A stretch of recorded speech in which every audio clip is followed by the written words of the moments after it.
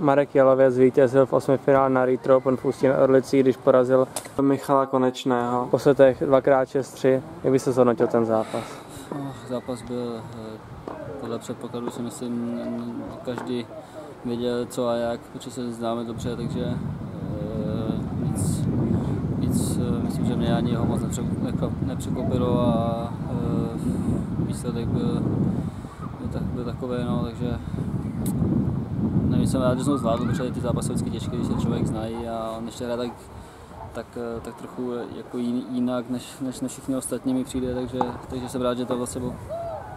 V tom prvním setu hnedka na začátku jste musel vrátit breakboly, tak bylo tady to důležité. Jo, určitě, začátek vždycky je strašně důležitý a, a hlavně jsem uh, úplně jakoby na začátku jsem se moc necítil, chtěl jsem vyhrát ty, ty plný 2-3 gemy, co se mi naštěstí tak nějak podařilo, že jsem se podržel servis a pak už se ta hra odvíjela uh, tak, jak jsem víceméně nějak chtěl. Ve druhém setu bylo trochu zaváhání, ale, ale byl jsem lepší no, potom. Co bylo nakonec rozhodující v tom druhém setu? Já myslím, že jsem se vrátil k tomu, co jsem, co jsem si řekl před zápasem, co bych, co bych měl hrát a, a to víceméně nikdy nesklamalo, takže, eh, takže jsem to pak začal se víc tady tu strategii hrát a, a pomohlo to. Či myslíte, že jste nakonec Michala přehrával? Uh, tak tam bylo hlavně o tom, kdo, kdo, udělal, kdo udělal víc chyb a, a uh, prostě něco jsem měl v plánu, to, to, jsem, to jsem dělal, takže nebudu tady říkat co, co a jak ale eh, prostě myslím, že to bylo takový hodně strategický. No. Měl, byl jste lepší na prvním podání, tady tím jste si pomáhal? No, já jsem první podání rozehrával spíš, já jsem viděl, že eh, Michal stojí strašně vzadu, takže tady to je těžký desu nebo dát na přímý bod.